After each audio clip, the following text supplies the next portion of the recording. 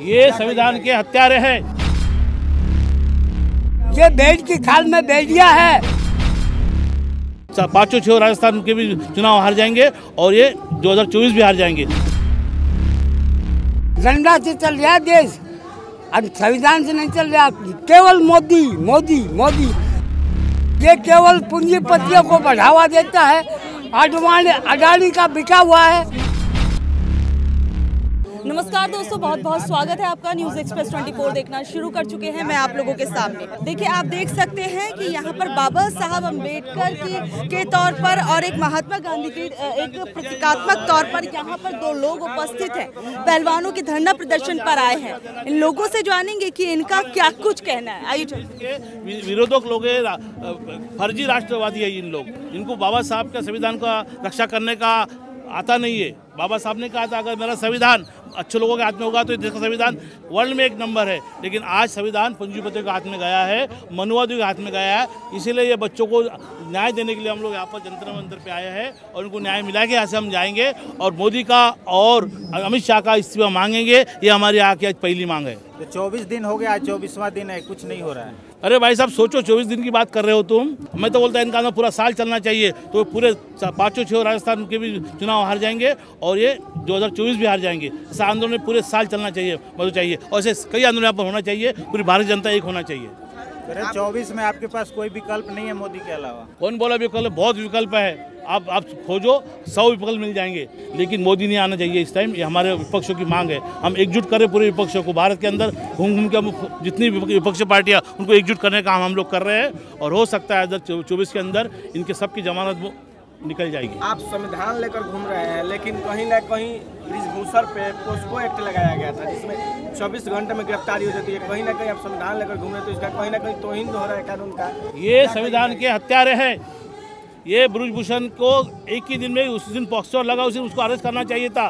लेकिन जो एसएचओ है, जो कमिश्नर ऑफ़ पुलिस है, जो जिसके जिसको आदेश दिया सुप्रीम कोर्ट ने, वो उन्होंने अगर इसका, अगर इन्होंने उसका पालन नहीं किया तो उनके ऊपर भी कानून तैयार होता है। वो एसएचओ को भी अंदर डालेंगे, वो कमिश्नर को अंदर डालेंगे और उसके लिए प्रोविज़न है। और अभी उसके लिए लड़ाई कानून चालू है। क्या ये सांसद बीजेपी का इसलिए गिरफ्तारी नहीं हो रही है? क्योंकि अरे बीजेपी ये पूरी मनवादी व्यवस्था है ये ये महिलाओं का शोषक है गरीबों का शोषक है और शोषक ही शासक बन चुके हैं। तो उनसे न्याय की व्यवस्था कैसा करोगे आप? क्योंकि अंग्रेज़ों ने बोला था कि ये मनवादी व्यवस्था पे ध्यान मत कभी भी इनको विश्वास नहीं करना। ये तुम्हारे शोषक वर्ग है तो अंग्रेज़ तो बोल के चले गए लेकिन ये डबल शोषक अंग्रेज़ तो भी इससे इनसे अच्छे थे लेकिन ये उससे डबल बुरे थे निकले क्या लगता है कांग्रेस पार्टी जो है वो बीजेपी को टक्कर दे पाएगी? क्यों देने पाएँगी? हाँ? दे पाएँगी क्यों?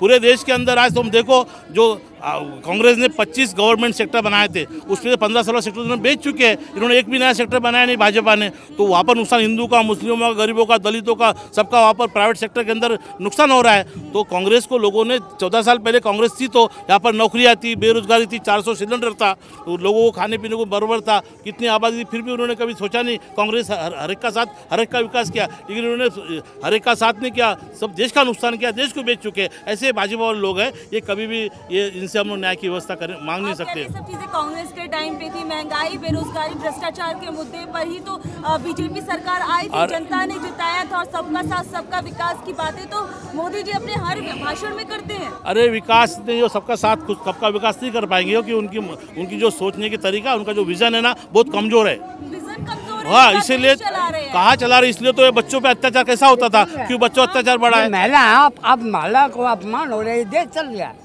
ये देश का अपमान है। जो दिन पहलवान ने देश के लिए मेडल जीत के लिए वो आज रोड पर बैठी हैं। आप महिलाएँ हैं। महिला होने के नाते इनको कह आप कह रहे देश चला रहा है। देश तो डंडे से कोई भी चला ले। डंडा से चल रहा है देश। अब संविधान से नहीं चल रहा केवल मोदी मोदी मोदी। और मीडिया ने वो खरीदा है और कुछ नहीं। सब चीज़ बेच दी मीडिया खरीद लिया।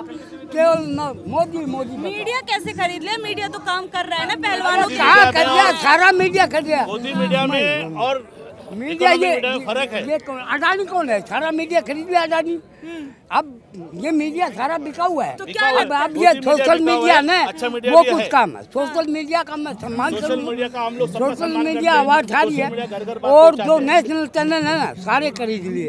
उसने देश बेचा है मोदी को टक्कर कौन देगा? दे देगा देश है? मोदी नहीं था तब देश नहीं। नहीं चला। मोदी नहीं था तब देश नहीं चला। और मोदी नहीं रहेगा मरे भी नहीं गए।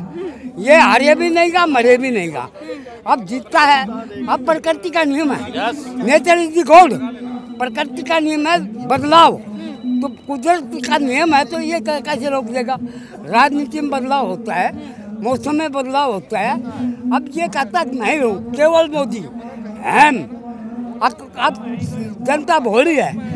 जनता को गुमराह कर रहा है। ये बेड की खाल में बेडिया है। इससे जनता ने जागरूक हो जाओ ये केवल पूंजीपतियों को बढ़ावा देता है। अडवाणी अडानी का बिका हुआ है। अडानी ने चैनल खरीद लिए सारे। सारे चैनल नेशनल चैनल उसके गीत गाते हैं। परिवर्तन चाहिए दो हाँ परिवर्तन प्रकृति का नियम है। नेचर इज़ दी गॉड कुदरती भगवान है। मैं नेचर को गोल्ड है। तो अभी आपने देखा कि यहाँ पर इन लोगों ने बोला कि पूरी की पूरी सरकार पर ही सवाल दागे हैं, सवाल किए हैं। तो आप लोग इस बारे में क्या कुछ सोच रहे हैं? नीचे दिए गए कमेंट बॉक्स में ज़रूर बताइएगा। मैं आप लोगों के साथ शालिनी।